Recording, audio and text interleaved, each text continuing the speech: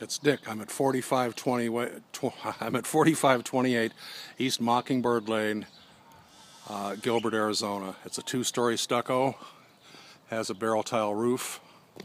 Two-car garage, which is in good shape. It has landscaping. I see kids' toys here. A car. I would have to say somebody's living here. House looks to be in good shape. Has landscaping.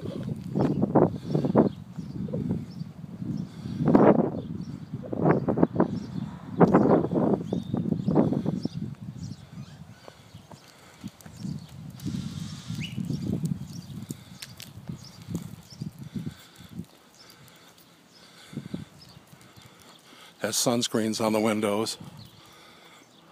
The fascia board looks to be in good condition. Roof's in good shape. In a relatively quiet neighborhood.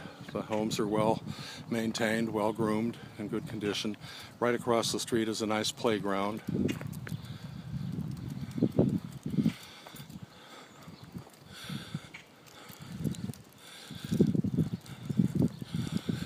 The air conditioner is not on the side of the house that I can see.